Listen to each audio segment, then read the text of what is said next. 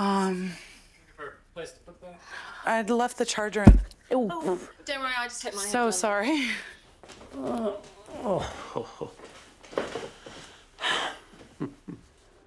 I think we're good to market if everyone's happy. Brilliant. Let's make sure phones are on silent as well, especially mine.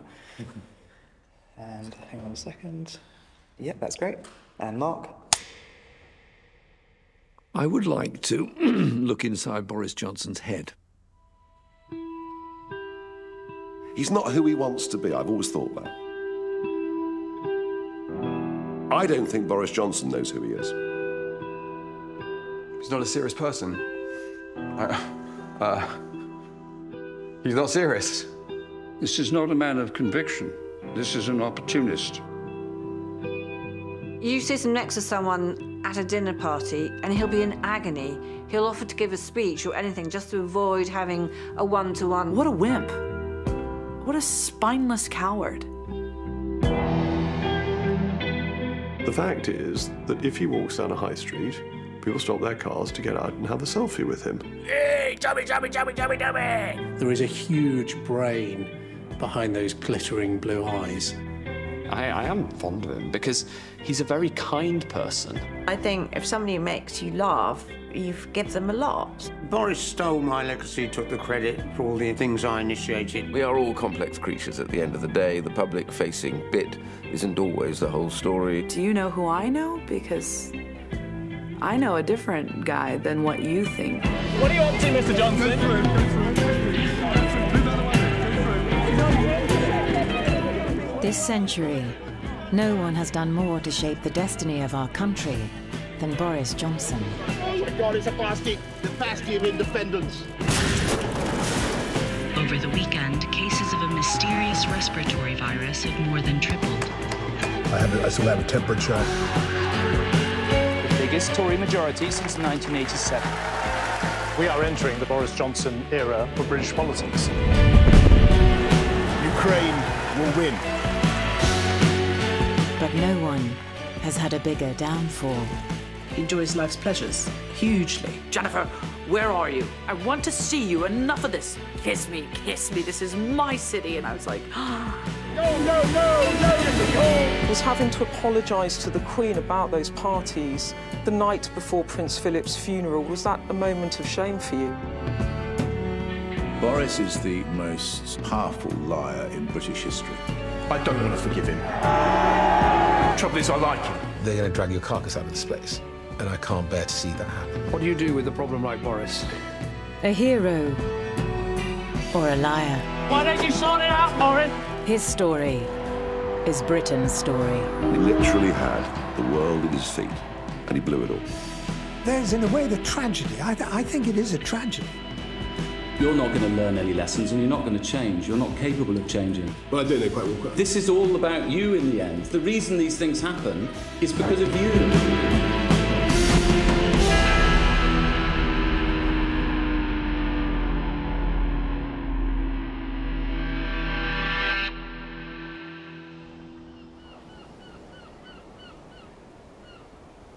He'll tell you himself when I want something, I go and I get it, and I don't stop until I get it. The recklessness, the brashness, there's definitely a streak or two of that. And most people get really hot and bothered, you know, that he is this very narcissistic, you know, womanizing. The reality is it comes from a place of insecurity and severe trauma. He was tremendously keen on my writing a, a life of him. And then he started to get cold feet. And he said, How much are you being paid to do this book? And I wouldn't tell him because it was a very modest amount. And then he started trying to buy me out. And every time I met him, he offered me more money not to write the book. He said, If it's a piss take, that's fine, a comic book.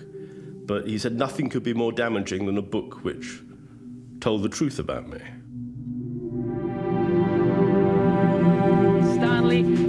Celebrity. You can get yourself out of here. Oh, Stanley Johnson, everybody. Long before Boris's dad's celebrity fame, Et je crois que les élections européennes montrera comment... Before his election to the European Parliament, Stanley Johnson's grandfather, Ali Kemal, was a Turkish journalist who was kidnapped and murdered. His body parts placed in a hollow tree. Stanley's grandmother died soon after childbirth, and their son, Osman Ali, was raised in England where he changed his name to Johnny Johnson and joined the RAF. But after a plane crash left him burned and severely injured, Johnny became an alcoholic, often beating his wife in front of their son, Stanley.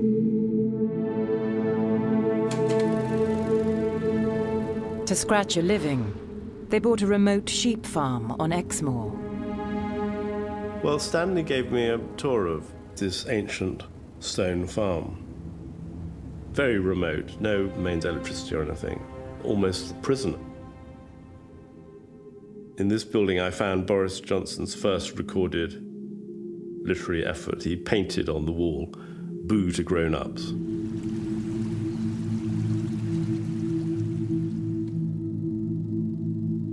Stanley met Charlotte at Oxford University. Charlotte had Boris at 22 and four children by 29 when the couple moved to a cottage on the Exmoor farm. They were both very young. Charlotte looked very nice. She looked like uh, she had a ponytail and long hair and a short skirt, and and and and she had a wonderful smile, and she was very welcoming. We sometimes listened to the radio, and there were the Beatles. They all could sing the Beatles songs. Stanley, especially, he could he could really sing all the songs. He he liked it. Yeah, I think Charlotte was more into the reggae. Boris, when I was there, he was ill, and there was an ear problem. It was quite severe.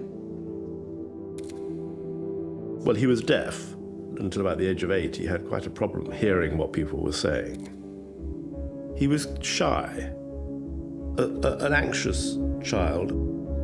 My theory is this in order to compensate for that, I. I, I, I couldn't hear. I couldn't, couldn't hear, so I had to. I had to feign, uh, you know, a certain ignorance of everything. He was silent. He didn't talk much.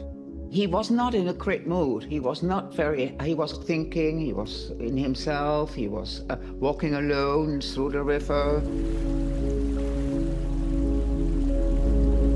Sometimes we went for a walk, the two of us. He took me as part of the family. We went up this beautiful hilly countryside. On top of the hill, we sat down for a rest and we were looking around us. And he said, This yoker, look at this yoker. This looks like a huge, big turtle. Don't you see it?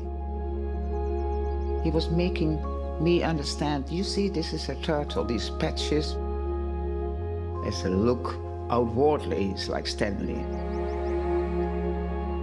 But inside, in the character, I think, he had this lovely, um, sensitive, artistic, soft feeling in him. That's Charlotte's side.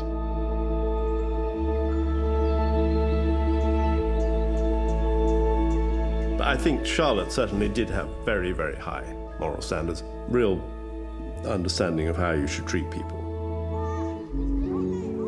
Stanley is a showman, tremendous sort of go-getting qualities, dashing about all over the place. Extreme competitiveness, the sense that the rules don't apply to him, including the rules of monogamous marriage. He wasn't there many times. He was he was he was uh, he was working and and working and staying in London a lot.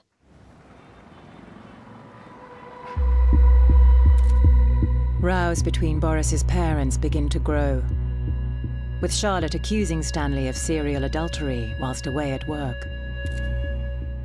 Well, Stanley kept on getting different jobs, sort of bouncing from one thing to another. Sometimes fell out with people or didn't stay very long. On the whole, children don't like moving. His parents moved 32 times. The fate of the Johnsons and that of Britain changes dramatically in January 1973 with the UK's decision to join the European community. Whose scope will gradually extend until it covers virtually the whole field of collective human endeavour. Stanley always dreamt of being a Tory MP, and now he tries the next best thing moving his family to Brussels as he sets his sights on becoming a Conservative member of the European Parliament. This is Stanley, yes. Yes, Boris. Sorry, that's Boris. it's Boris, yes. And, and there's a rather sad looking Yes. Charlotte, isn't there? Yes. Coping. We were there in Brussels before they were. Charlotte and family arrived in 1973.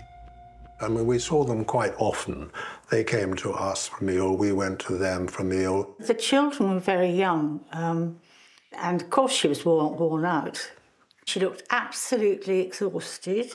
This poor woman. Did, did was Stanley overwhelmed as well? Well, I mean, Stanley was Stanley. I mean, he was rushing from A to B to C to D, all in one gulp, over revving a lot of the time, and nothing was enough. He had to go somewhere else and then somewhere else. Fatal to anybody else who is close to him. And I think Charlotte, you know, she took it on the chin all the time or so. What else was she expected to do? I, mean, she was quite unhappy. In, in and in fact, um, she made an announcement, and it was an announcement. She said, "I'm going back to London to go into the Maudsley because I can't stop uh, washing my hands." She'd been scrubbing her hands; they they were raw. Obsessive compulsive behavior.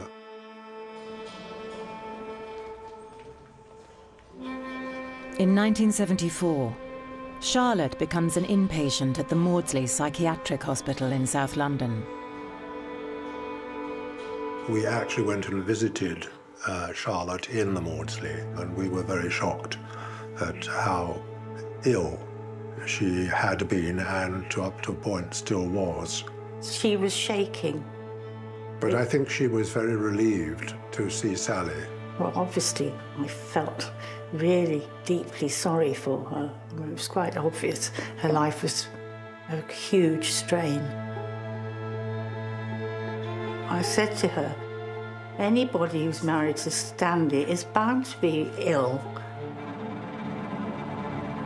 I mean, was he? Uh, am I right in remembering that in, on at least one occasion he he actually struck her? Well, that's what she told me, love, but Hmm. um, I I can't say any more about that.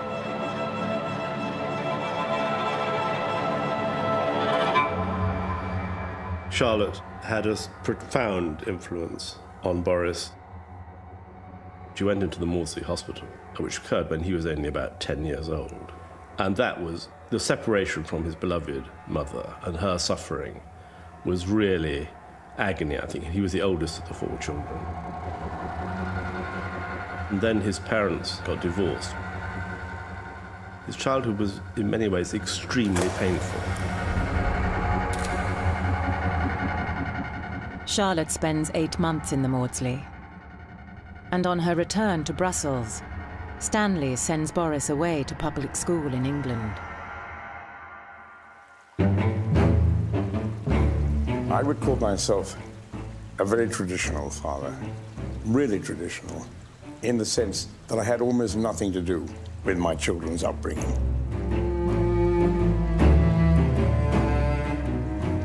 I said, look, why do we have top class schools in this country?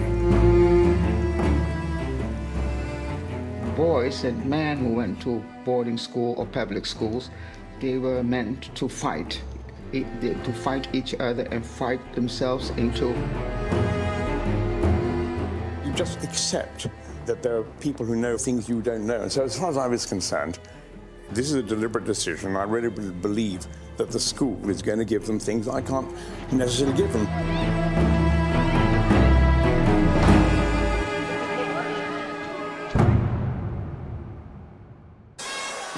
Tonight's debate is on the motion that Englishmen are funnier than Americans. Distinguished members of the Oxford Union, Englishmen are not funny. not funny! Jasper Carrott to speak in favour of the motion. Fast everything, it's the American way that you've got to have everything now. Give me now, got to have it now. I call upon Steve Allen. At Oxford, Boris becomes president of the Oxford Union Debating Society, building up a contact list of guest speakers, encompassing world leaders, celebrities, and elites in every profession. The president's now leaving the hall with his main guests, leaving his deputy, the librarian, to preside over continuing debate amongst the ordinary members of the society. Armed with connections, Boris gets a job at the Times as a trainee reporter. I met him in 1987. He was leaving Oxford. He's really a dramatist. He wanted to tell a story. He had absolutely no sympathy with the fact checking mentality. He just can't bear that pious idea that if only you get all the facts right, then what you're saying is right. He thinks you start with the story. Who'd like to see Boris's lab? I reread a lot of his articles. He wrote a lot of pieces about cars. I'm the worst driver he's ever made. You've got to aim for the apex. Aim for the apex. I mean, they don't tell you anything much about qualities of the engine or anything like that, but they do, they do somehow give you a feeling of what it's like driving one of these cars.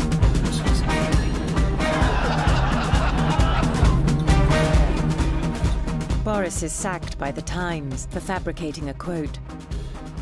But he gets a job at the Telegraph as their Brussels correspondent, where he writes a series of anti European articles, often ridiculing the institution that his father cherishes.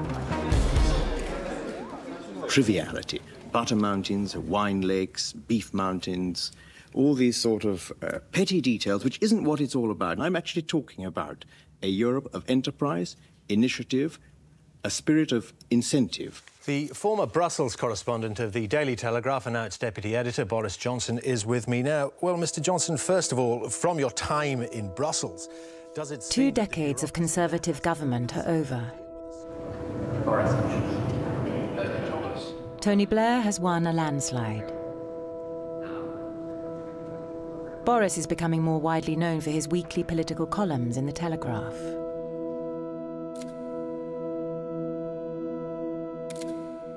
He now has four children with his second wife, Marina Wheeler.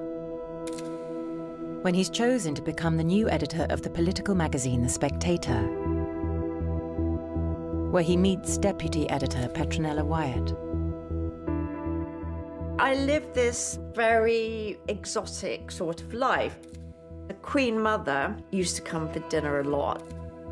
Margaret Thatcher, she became rather sort of motherly in a strange sort of way. She started asking me about boyfriends. Um, she kept saying, take your time, take your time. And I was introduced to the perfect boyfriend who is sat next to me at dinner, and this was David Cameron. There wasn't chemistry between us, but he was a good dancer, David, very good dancer. I wasn't easily impressed, I suppose. Morning, everyone. Now, the um, 170th anniversary issue. What other countries are doing about the millennium, particularly United States, the answer is that they're not doing anything at all and they think we're barking mad. I was very annoyed when Boris became editor. It was a small office, so I was dreading it. And I didn't really like him. And I didn't like his sort of bumbling act.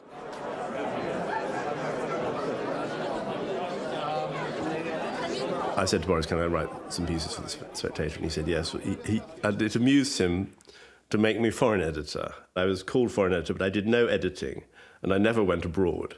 Uh, but what I did do was go to the uh, Thursday morning conference, and those are the most enjoyable editorial conferences I have ever been to. Everybody just sat there drinking till five in the afternoon.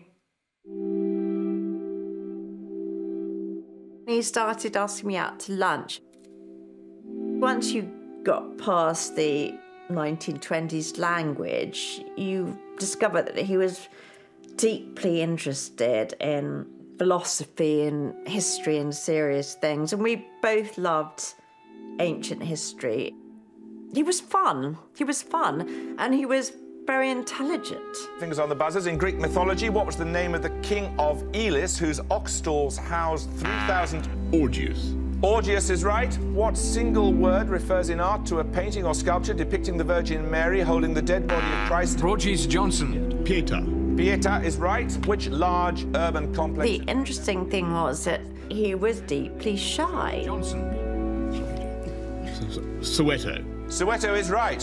Which Hebrew... Look, you know what they say about actors. The shyest people become actors. Boris, you've buzzed in already. And Boris was an actor. The Boris creation was a creation. It was a performance. Rogers Sublimation. Johnson. Sublimation is right. Sex and shopping. Is correct. Diane Abbott. Did say that, yes. I know it sounds odd, but for somebody like Boris, somebody so gregarious, really didn't have many friends. And I said, You're a loner, aren't you? And he said, yeah, Yes, I am. I certainly wasn't looking or hoping for anything. He had this sort of vulnerability that sort of drew you in. There was almost this sort of innocence to him. He adored his mother, but he looks like his father, but I think he's more complicated than that. But now, this, this, I've got to say that I had a tough upbringing now, have I, and that sort of thing. And I lived in a hole in the road, and uh, when I was Nippo, and I, you know, I, we, we had it tough, and you know, ate coal for breakfast.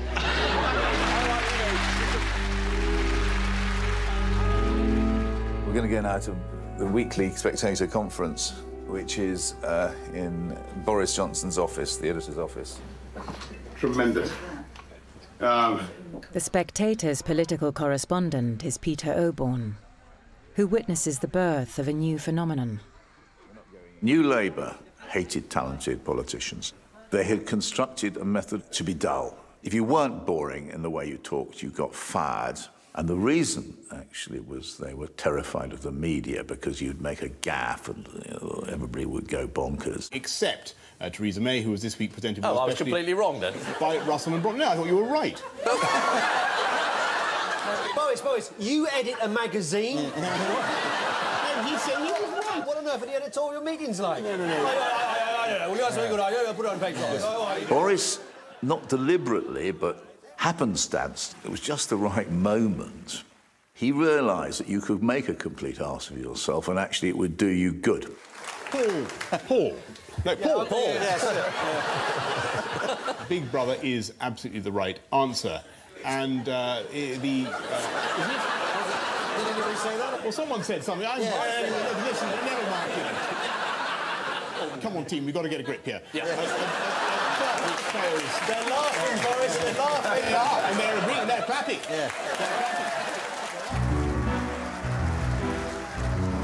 With TV now giving Boris a recognisable and relatable brand, he pursues a long held dream to make it to Parliament.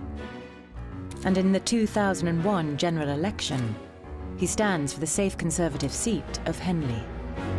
Let's go to Henley. Janet Matthews. Labour. 9,367. Alexander Boris Johnson. Conservative. 20,466. Well, Boris Johnson takes that seat. On the same night, David Cameron is also elected. But overall, it's a poor night for the Tories. And I think we've got to stop and think and reflect on our policies and reflect on our approach. And it is the darkest hour that comes before dawn, so bethink thee of that. And it's almost breakfast time now. Good morning. Let's go back home and prepare for breakfast. Danny. He is a genuine character. He'd promised the then owner of the Telegraph that he'd never become an MP, and he promised Henley that if he became an MP, he'd give up the Spectator, and he did neither. There have been 15 years where language was controlled, ideas were banned, everything was conformist. And along comes this person who makes endless gaffes. Liverpudlians have been accused by the political magazine The Spectator of wallowing in their victim status over the murder of the British hostage Ken Bigley. Paul Bigley, yeah, is uh, yeah. Paul. Gosh, what can we say? Um, you're a self-centered, pompous twit. I don't really think I can I can say anything uh, to you, Paul, that will um, alter your opinion of me. Well, Boris Johnson gets the prize as Liverpool's least favourite politician, but where he may get the prize today is for the most number of apologies for a politician. He really hasn't stopped saying he's sorry. But not for absolutely everything. I don't want to contradict you, but anyway. Which bit aren't you sorry for? Well, I'm not, I, no, I don't want to repeat. I'm not, I don't apologise for the entire gist of the of the editorial. That's all I wanted to say. No, sorry, I didn't want to interrupt. Thank you.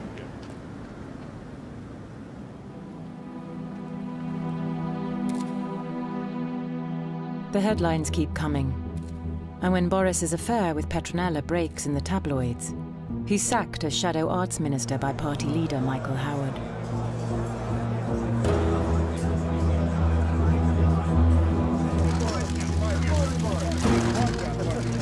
Boris, are you going to save your marriage, do you think? I'm going to do whatever I can to say, oh God, they locked me out. Hell no. Wife Marina throws him out of the family home and changes the locks. Boris is distraught and pleads for forgiveness. And after seven days, she takes him back. The human condition, we're all brought down by our own foibles and failures, aren't we, Boris? And. Uh...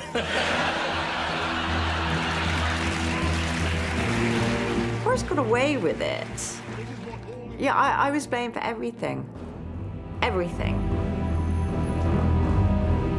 He ended the idea that indiscretions mattered politically. If anything, it made you more popular, more authentic. And so he created a new kind of politics.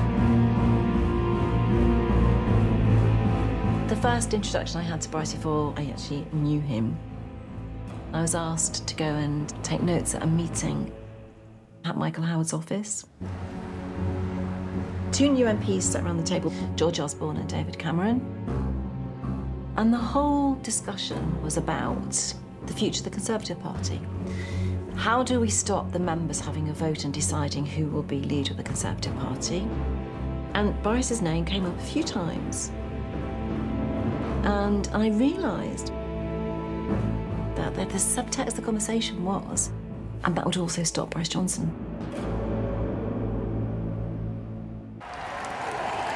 And he comes in through the gates of Downing Street. Look, those are the ordinary people of Britain. Tony, Tony, Tony. Tony, they're saying. Someone grabbing at him, the passion in their faces. He's there now. The new Labour revolution had been such a shock to the Tories. Awful election defeats since 97. We're still not going anywhere. And if we're going to go, if we're going to get back into power, we need to change. Boring old men at the top who haven't listened to women's problems, which is why they haven't got elected. I've heard that you're, uh, you're an avid fan of Little Britain. I'm more of a fast show man. I think the fast shows delivered better characters. Cameron had started to sort of make waves, referred to himself as the heir to Blair. What got me initially was the fact that you like the Smiths. Right, well, there we are. We're They're making a good best band. start. Radiohead. The thing about the Smiths albums is that they then released so many. I got a call from David saying that he wanted to run for the leadership. Okay. With the Conservative members, you know, isn't he the, the charming young man that everybody would like to bring home to introduce to the parents? A squeaky clean, polished Tory image, and Boris, you know, was the other end of that spectrum. Yeah, this is uh, Boris Johnson, Breaker One Nine to Rubber Duck. Do you mean? Do you need me to shout? Yeah. Okay. Boris was very competitive. I mean, extraordinarily competitive. Competitive with me, which was ludicrous. His father had been very competitive. He'd been brought up to be competitive. If you came home from school and told Stanley that you'd come second in Latin, he'd say, Why didn't you come top? In 2005, Stanley runs for Parliament as the Tory candidate for Teignbridge in Devon. Well, this is a wonderful opportunity to vote for myself today, and that's what I'm going to do. He narrowly loses out to the Liberal Democrats. Many people I know voted for me because they thought I was Boris, and... And I'm perfectly sure that having not quite achieved this particular result, other challenges will present themselves. And with Paul Merton tonight as father of Boris Johnson. Stanley follows Boris onto the media circuit. And now, all his political ambitions are funneled through his eldest son. In a Darwinian way, there's no point in you know any of us going into this business unless we want to get as far as we can. Otherwise, we're no good to man or beast. We've got to we've got to want to compete. We've got to to do as well as we can.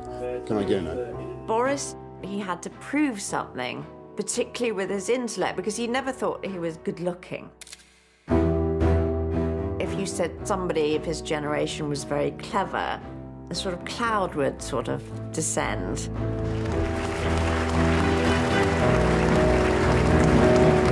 I now declare David Cameron to be the duly elected leader of the Conservative Party.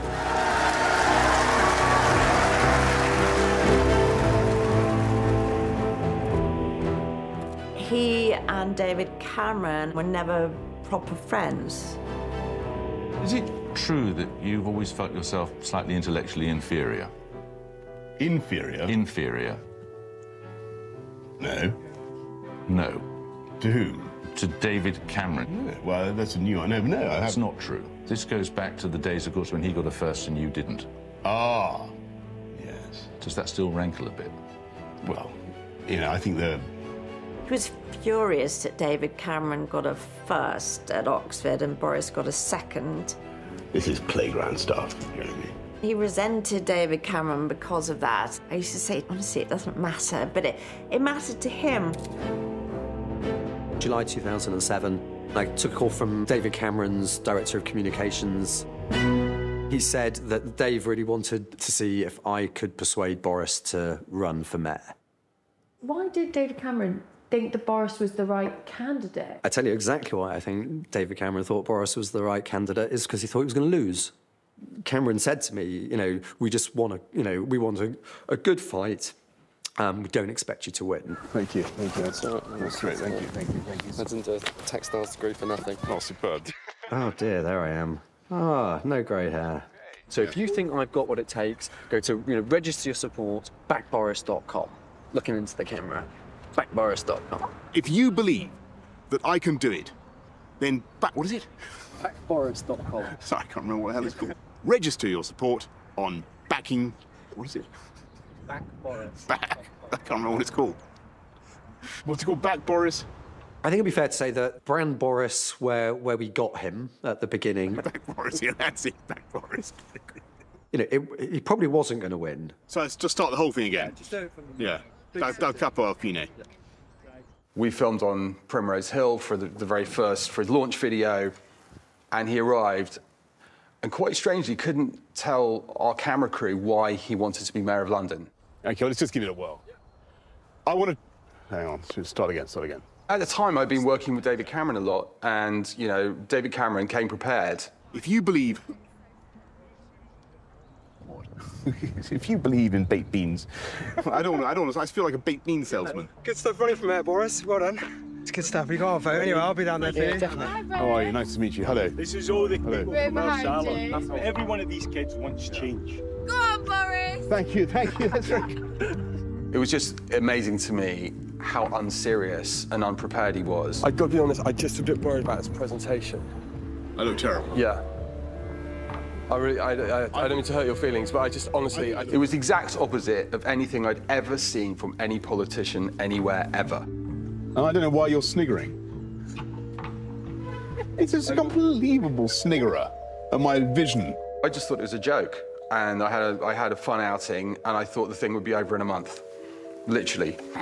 My favourite word. Yeah. Favourite word I think is uh, carminative. What? Carminative. What you'll define for us as? Carminative is a, is a s- is a s- is a s- mystic spell or incantation used to calm flatulence. It's a beautiful word. It's carminative. It's a beautiful word. For getting elected in Henley, he probably did about an hour's campaigning because the people of Henley would vote for him in a second. In London, Boris faces Ken Livingstone, the first and only mayor the capital city has ever known. Because when I became the mayor, that was global news. I mean, literally, I. But Who's that on the back?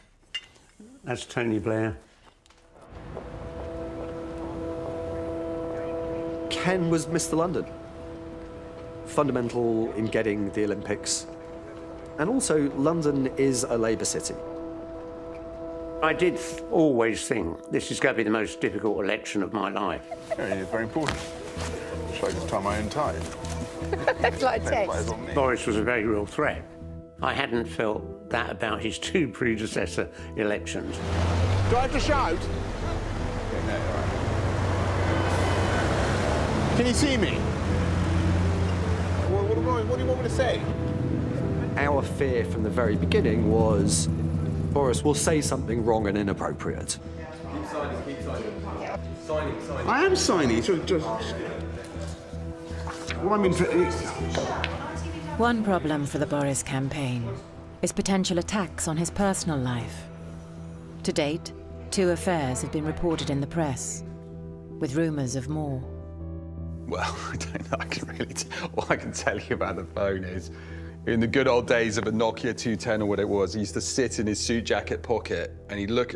I, I mean, basically, it was his bird phone. He'd pull out of his top pocket and look at it like that, just for his eyes only, which of course had some of us wondering what was on that phone. Would um, all of the candidates describe themselves as men of morals? I suspect that everybody in this room uh, are, are, is in some way a person of dubious morals. Uh, but so the people I want of to know about your sex life, Boris. I think, Affairs, not interesting though my private life may be, I think people are even more interested, Mayor Livingstone, in your duplicity call me about Ken after affairs. all this time. It- D- d- d- are you embarrassed by being kicked out of the shadow cabinet uh, for having an affair? I he don't wasn't believe- sacked for having an affair. He was sacked for lying about it. Uh, no, well, hang on. I don't want to. When you're debating Boris Johnson, I mean, it's almost like it's not politics, it's about having a chat with a celebrity. If you'd stop most people on the street and ask them about Boris, they would have mentioned politics. They'd have mentioned, you know, his, you know, his chatty programs.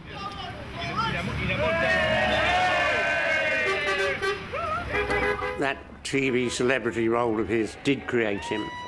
People saw him, they thought he's very funny. I'd like to go out and have a pint in the pub with him. His charm, his humour. I think the British public, they liked him because they thought he was a bit of a rogue and a charmer. Another kiss. Lovely. They liked him because he was a character. The British love characters. Yeah, well done, yeah, well done, team. You're a registered vote.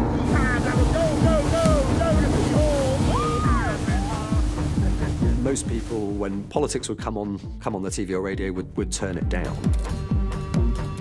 Interestingly, anytime you know Boris was on there, just an image, people would turn it up. Spending a few days just walking around London with him, even the people who wanted to hate him were smiling when they saw him. People felt closer to him than any other kind of politician, which is amazing. Political gold dust.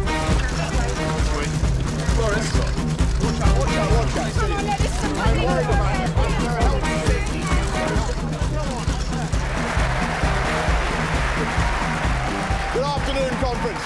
I am proud to be your candidate to be mayor of the greatest city on earth. But what gives me the greatest pride is that we have provoked such gibbering squeals from the lair of King Newt and his allies that I know they are scared that we Conservatives are launching a fight back in London.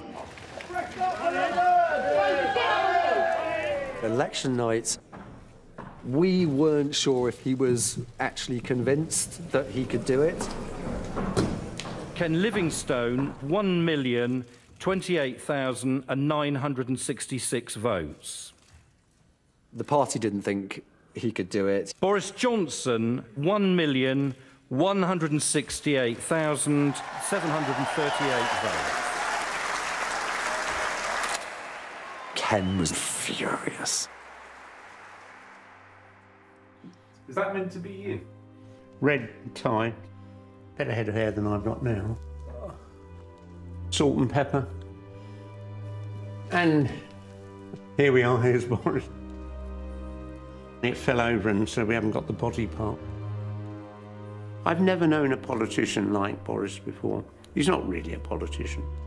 He's a celebrity. That hair, I mean, that face. But I, I hate holding it. is he nearly here? Oh, there he is. Oh, brilliant.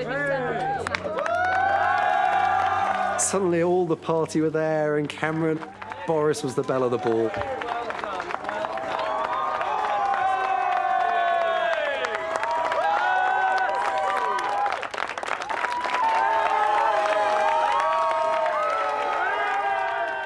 You I've known Boris since I got elected in 92. He's one of those guys who's able to make you laugh whilst sticking the boot into you at the same time. So, sort of uh, talented. Got the whole of London behind you now. If I Can you get my chair up a bit? He seems to be a kind of. If I was David Cameron, I would have been concerned about the unpredictability. That was something I, I would have probably been quite happy to see move away. Username. What's my username? Johnson. Uh, it's probably B. Johnson. B. Johnson. In him moving over to become mayor, the gamble was that would be it. Boris is now in London, and it's interesting to London, but it's not interesting to anybody else. That's it. The difference was he changed all of that. What do you think? Well, I think you've heard him. I just want to make one final point. Ah. I want to, sorry, I want to make one final point which is relevant to this area. And there it is, you can hear it. I will not support, in fact, I will oppose a third runway. I, there is no reason. It was Boris that suddenly became interesting to the public. I know, I'm sorry, I'm interrupting a very important television interview with the leader of the opposition. The cameras couldn't take their eyes off him. I mean, it was almost the perfect job for him in a way because it was a showman's job, really. Thank you very much, everybody, for coming, and happy St. George's Day. He was all the time building a reputation. Who invented ping pong and custard? English. Didn't they? And Maurice Johnson. Cry God for England. Custard and St. George. And if there's anything where I go like too far and I realise in the moment, I, I might just stop you and just say, look, actually, can we just? I, I'm sure there won't be, but just if there's something that. Okay. Will Walden first began working with Boris in City Hall, where he was the mayor's communications director and official spokesman. I spent a lot of time attempting to get the best out of Boris. Didn't always work. Boris is a great wordsmith, he's a great craftsman, he's a great communicator. Larger than life, he's someone who dominates a room uh, mainly because he wants to. Morning, Boris. Morning, Boris. How does it feel to be mayor, Boris? 2008, 2010. Boris was the most senior elected Conservative politician in Britain. Do you think you can deliver on all your promises, Mayor Johnson? Can you can you deliver? Can you deliver on the promises? Well, there you go. You've heard it here live on the BBC News Channel. For me, fundamentally, yes, I worked for the mayor, but I also worked for the mayoralty. It was my job to help sell London. That wasn't always the easiest thing to do with Boris because he would like to sell a bit of himself as well. Here in City Hall, Mr. Will Smith. Hey, hey, hey! Boris was the salesman for London. It was his city. Mr. Mayor, who are your biggest inspirations? You mean apart from Pericles? I know. I, I got it. Oh, Aristotle. Aristotle. That's funny. Aristotle is one of mine. Was he one of yours? Yes, Aristotle. wrote- Aristotle's big. See, we got a lot in common, man. I've got a lot in common. I think he was. A It was all very deliberate. It was all very part of the Boris shtick. And I think his argument was, well, you know, we're getting coverage. I'm the mayor of London. We're getting coverage. Get that microphone out of the way. Clearly, this monstrously confident ego. Okay, ready? Okay. Dignified words. He's an extraordinarily complicated character, capable of immense personal kindness. I've been the beneficiary of, of that, that at times. But at the same time, he's immensely flawed. It was if a pop star had appeared in southeast London today. Autograph, photos, and more. Can you pretend to like me for two seconds? of course I More than two seconds. Thank you. Excuse me. Take my phone number if you want, mate. You are. I was, it was amazed the quantity of women who would actually throw themselves at him. It was staggering. It's like I don't get it. You know, I know I'm gay and all, but I just don't get what was the attraction. But you know, My job as your mayor is to get the funding we need to put more police out on the streets. He doesn't want to discuss his private life. He doesn't think it's anybody else's business. And I remember when I took the job, broaching the subject of his colourful past, and he just said to me, never ask. Don't ever ask. And I thought that was completely unsustainable because what happened if a journalist came with an accusation? What do you do? Never ask? It's ludicrous. He's never going to comment. He said, it's no one's business. I'm not going to comment. Boris, do you want to make any comments about your comments earlier? You have made the front page of at least one paper, a liaison with the Oh woman. dear, Vanessa, I don't go on about my private. I'm here to. I don't want to comment about uh, that kind of thing. I had no idea who he was. I was 26. Like, I, you know, I was so young. In 2011, Boris meets Jennifer Arcuri, a business student and tech entrepreneur, at a London conference for venture capitalists. He was there to speak to some of the biggest money men in the city. And I saw the way he, you know, drew the sweatiest and the oldest and the grumpiest of men, you know, into this. I went, oh, that is a talent. And I just walked right up to the front and said, you have to speak at my event. And he just, "Y- yes, yeah, what? Yes, of course, of course I can do that. Well, you guys, all right, what is this event, Jennifer? We wanted to create some sort of event centered around technology. to build our own businesses and get within the same network of people. What you're seeing now in Tech City is very exciting. We are in, in a phase where He shows up, and literally everyone's jaw was on the floor. They couldn't believe, including mine. I hope very much uh, that I can do everything to encourage Tech City and everybody who works in it to flourish. The first text message, Boris calling Jennifer, and signed his name Boris. So everyone saw the text. Proceeded to tell me that I could not have him in my phone as Boris Johnson. They passed around a few names, and the first one I resonated with was Alexander the Great. So there he became Alex the Great. I'm Jennifer Arcuri, founder of the Innotech. I remember walking from Camden and he calls me, Jennifer, where are you? And I, "Uh, somewhere Tavistock Square, you know, stay there. "Oh, Stay here on the street. I remembered, what? I'm coming to you right now. I, I want to see you. So I crossed the street and went to the hotel and he was on the TV and I was like, this is so weird. You know, doing some Olympic thing. This is the completion of the most wonderful velodrome. Shall I tell you there's a secret?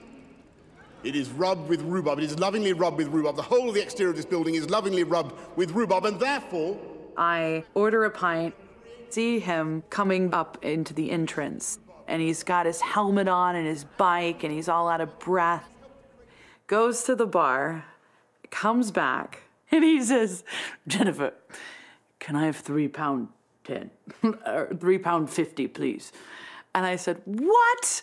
I am a student and I have to buy you a beer? Like the first drink we meet, and you you have me buying you the beer? and let's wish Team GB the very, very best of luck in 2012. And I just remember thinking, he obviously likes me. And I did like him. We walked out of that, and he thought he was gonna follow me back to Camden. I, I just, I was, like, what? What girl? No. He was like, no, it's all right, it's all right. And I said, no, it's not all right. You're not coming back with my three roommates in Camden. So I don't mind. I, I said, but I do. This is London's moment. I am a man, I'm a heterosexual man, just like any other man. The audacity, you know, just comes to me. Kiss me, kiss me, this is my city. London. I don't care what city this is. I'm not kissing you on the street. He was like, You're a very interesting woman, Jennifer. The most conservative woman I've ever met. I didn't just walk off and delete his number. I actually liked being around him. Like it was really real. It was really real, the energy, the genuine, real, you know, where you meet someone and you're like, where have you been? People in City Hall from that time knew who Jennifer was. I think there was a kind of grudging respect for Jennifer. She was this uh, quite dynamic businesswoman who seemed to have a friendly relationship with the mayor, but nobody really raised any questions, obviously because we didn't know what was going on. Please go absolutely wild and crazy for Mr. Boris Johnson, the Mayor of London.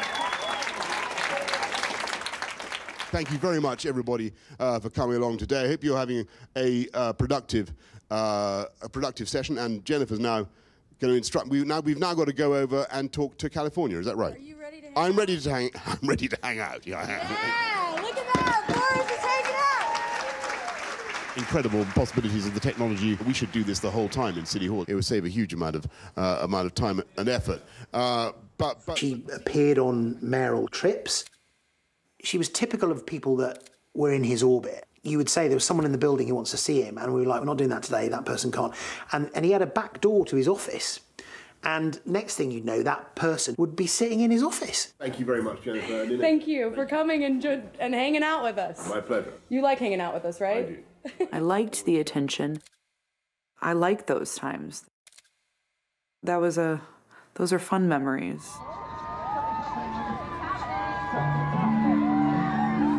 I want to have a successful Olympics. I'm going to be judged very much on whether we have a successful Olympics. It's going well. It's very, very well organised. What they do... Get, get me a ladder. There was a lot at stake for him. He really put his political reputation on the line. It was basically, this is my event, it's going to be great. I don't think underneath he had any genuine sense that it definitely was. It's very difficult, isn't it? How, how can we bottle enthusiasm? That's it. That's it. It's very, it's very hard. I mean, they got it. Harness that public spirit. Harness that energy and kindness. Boris had this unique ability to basically make everyone feel it was going to be all right. We went to Hyde Park pre-event rally.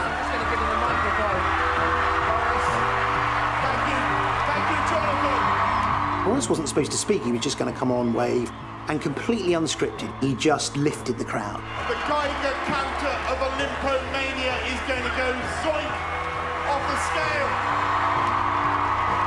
Are we ready?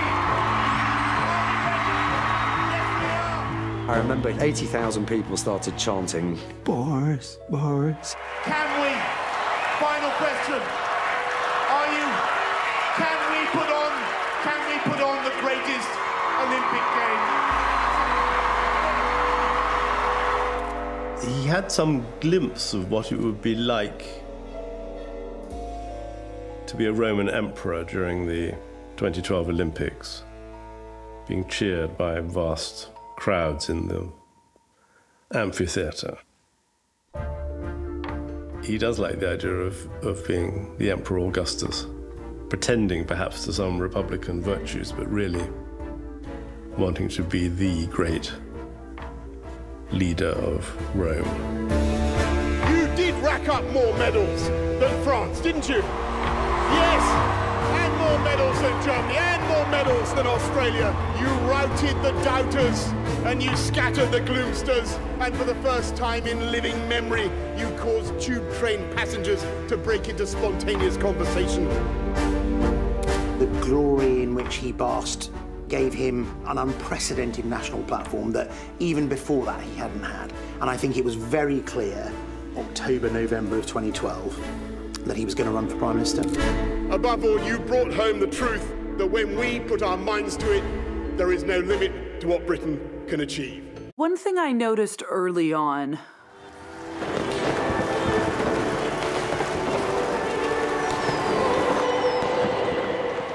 for being uh, surrounded with people all, all the time. It always struck me how terribly lonely this man was. The more I saw him, the more he wanted to see me more and more. Wherever he was, you know, he wanted me to come out to see him in the country. wanted me to take a private car to see him. The more I didn't see him, the more he acted out in order to see me. Calling over and over again, I'm pining to see you, where are you? You know, kind of man child that still requires that coddling. And I could see this kind of emotional fragility within him. Do you really like me? You know, he, he just he'd get very defensive if I said, I'll just go to an event with, you know, David Cameron instead of coming to see you. And he's like, that's bollocks, don't you dare, you know, and he would get really angry.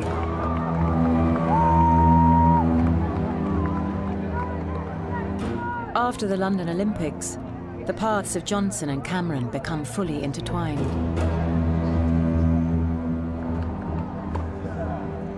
Cameron has been Prime Minister for two years, but clouds are forming. His coalition government is becoming unpopular due to austerity.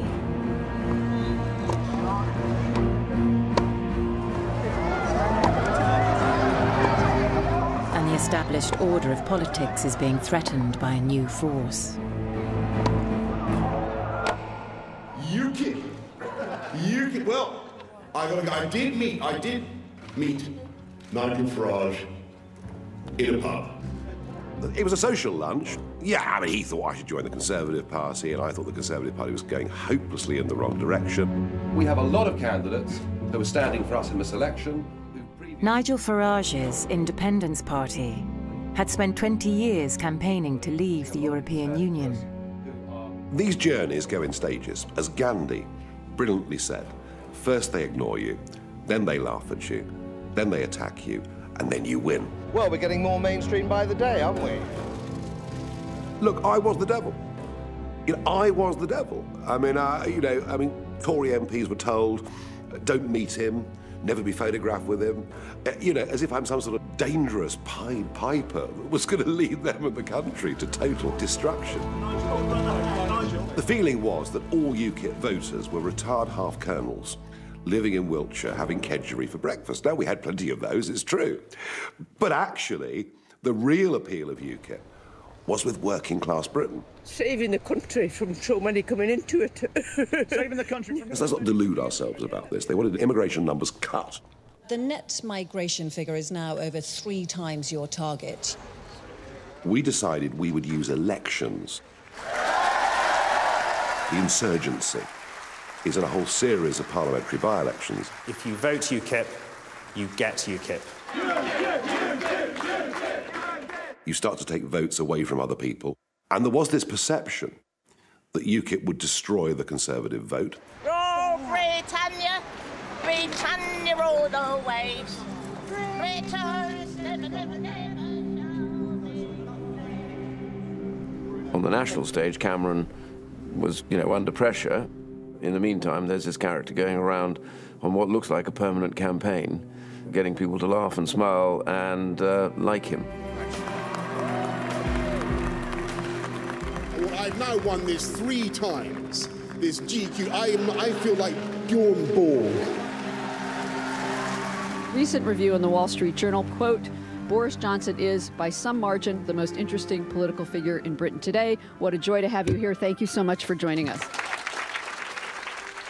Have you looked at David Cameron and said in yourself, when you looked in the mirror and say, I could be David Cameron? These are, you know, I think like, it's very important for politics that people should be people should feel that the top job is coveted. You know, And- we're all like we're all like wasps in a jam jar trying Exactly. to trying to and, and survive. compete for it because only by the competition will the country be best served. Thank you for coming to this table. UKIP win the 2014 European elections, pushing the Conservatives into third place. I think it is a political earthquake. We've won a national election. And for David Cameron, uh, that debate, that split within his party, is going to continue. Well, it's lovely to have you here. Thank you so much for coming on. It's a, it's a joy. Uh, let me try this on for size. See how you like the sound of this. Prime Minister Boris Johnson. Yeah. No, How do you like no, the sound of that? yeah, um, I What, you, mayor- you must like the sound of it. You must want to be Prime Minister, no? Yeah, No, and I want also, to be- Why would you okay, get into it if not to? I think you are a singularly popular politician. And I think, am I right in saying this? Do you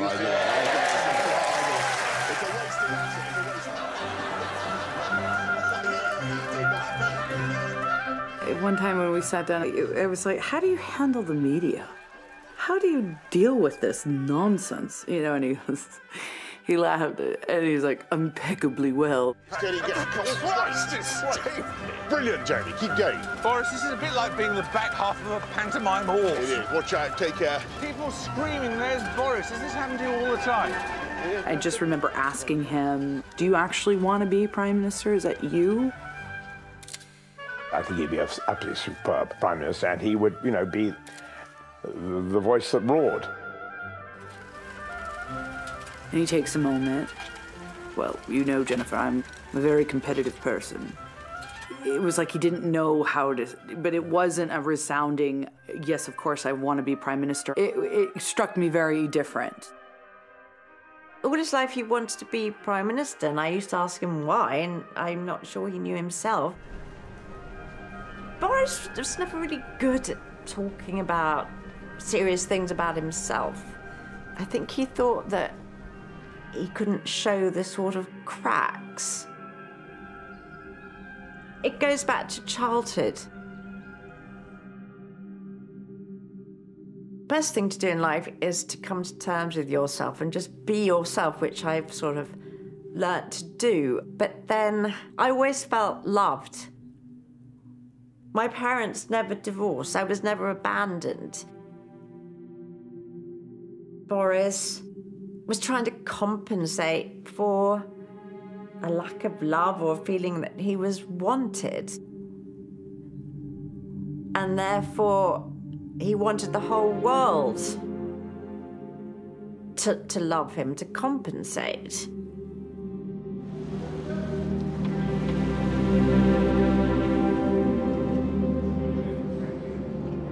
After years of pressure building and infighting over Europe within his party, David Cameron prepares to announce an in-out European referendum to the British people.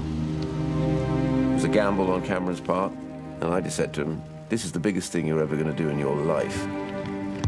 Good afternoon. I actually said to Cameron, by the way, uh, I don't see why you need to hold the referendum now. You've got two years. And his answer to me was quite revealing. He said, uh, no, I'm not prepared to, uh, to have Europe dominate my legacy. And I said to him, but it will. I know there will be many passionate arguments over the months ahead. Those who want to leave Europe, all they're offering is a risk at a time of uncertainty, a leap in the dark. The choice is in your hands. But my recommendation, I believe that Britain will be safer, stronger, and better off in a reformed European Union. Thank you very much. David Cameron knew how vital it was Boris came down on their side. You know, I watched, they worked like hell, throwing everything at Boris. Morning, Boris.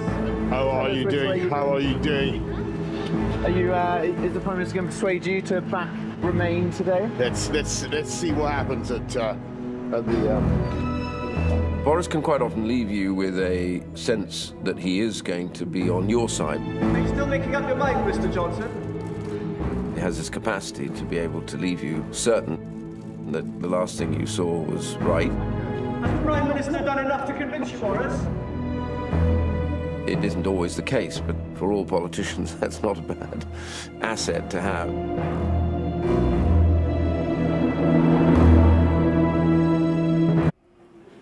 Okay, thanks, mate. Morning. As Cameron entices Johnson towards Remain with the offer of becoming Defence Secretary, Boris drafts two telegraph columns. One, arguing to stay in Europe. One, arguing to leave. Everyone waits to find out what he really thinks.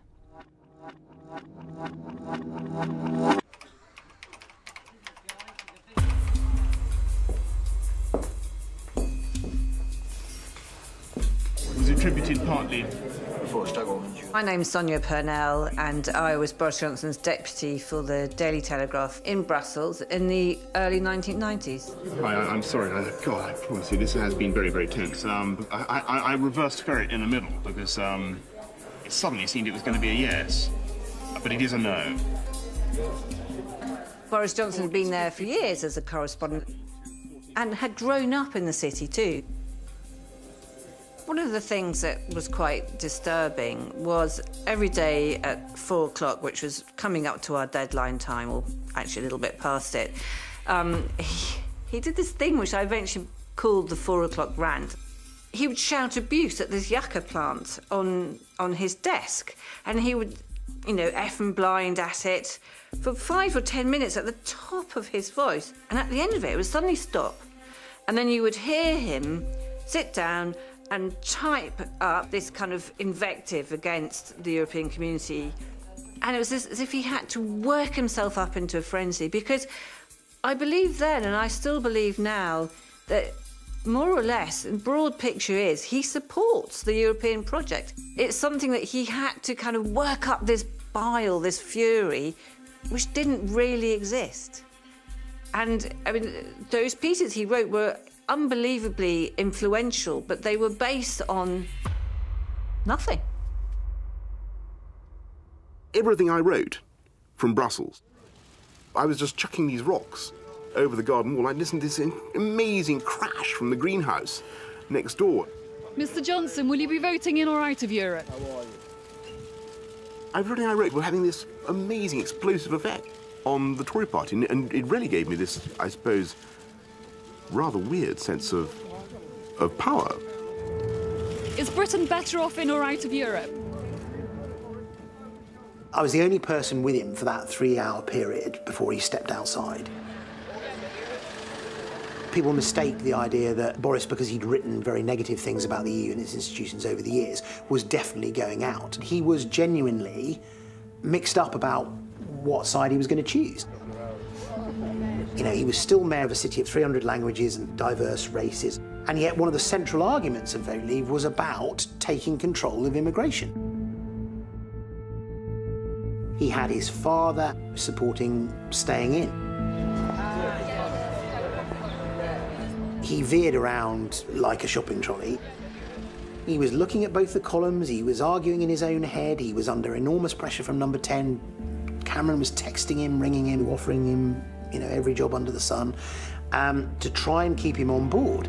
Boris, I'd say to Boris. Probably watching. To Boris, I would talk say him, to talk him directly. Well, I He's would say to Boris, we will be safer, we'll be stronger, we'll be better off inside the EU. The pressure was relentless and clearly wasn't helping with his clarity of thought. A couple of times he would say to me, oh, no, I can't do this. You know, what do you think? And I'd say, I'm not making this decision for you. You know, you know what the arguments are. I'd, I'd been coming in and out to basically try and keep the press troops happy all afternoon with absolutely nothing to say to them. I was giving a top load of nonsense spin. I said to him, this is untenable. You're going to have to say something. There's 150 journalists parked outside your house. We cannot go on like this. And he knew that, and I think in a way he kind of just didn't want to make a decision. But even inside the house, before he stepped out, he, he didn't really quite confirm when we were going through it what he was going to say. Oh, here we go.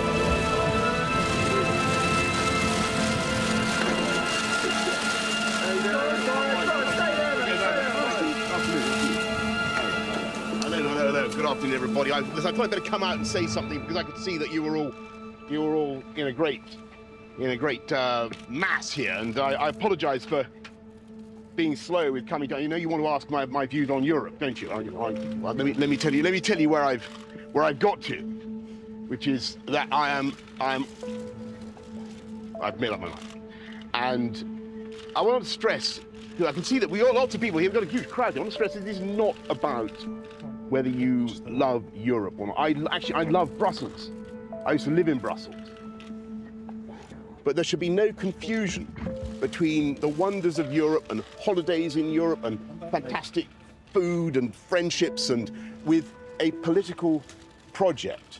And it's my view that after 30 years of writing about this, we have a chance actually to do something. And that's why uh, I've decided, after a huge amount of heartache, I don't think there's anything else I can do. I will be advocating uh, vote leave because I want a better deal for the people of this country, to save them money and to take back control. Political calculation. Look, the, the big battalions of the argument are unquestionably ranged against people uh, like me. We are portrayed as, you know, crazy cranks and all the rest of it. Boris Johnson joined the Brexit crusade at five minutes to midnight, but he made a, he made a decision. And I heard the news and I was delighted. Thank you very much. Thank you very much. Out the door, ruffle the hair. Gosh, what are you all doing here? What a terrible surprise. Oh, I'm supposed to be speaking about this. Yeah, um, you know, broadly speaking, I've thought long and hard about it. I'm incredibly divided, and uh, let's go for the vote leave thingy. Let's do that. But, you know, honestly, it's of no consequence. Don't worry about it. See you all later. Knowing full well that it's of massive consequence.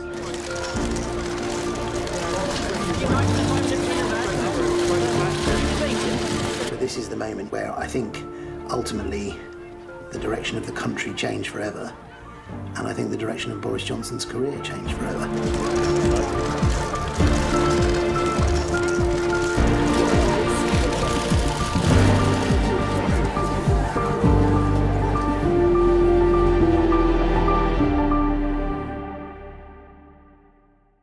Although Stanley Johnson admits he once struck his wife and broke her nose during an altercation, he says this was accidental and a one off incident. He categorically denies any suggestions of domestic violence. In this context, his four children have issued a joint statement.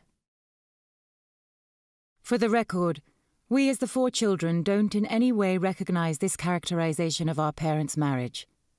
He was a heroic father, still is, and what we did see firsthand was a huge and unwavering amount of affection between them.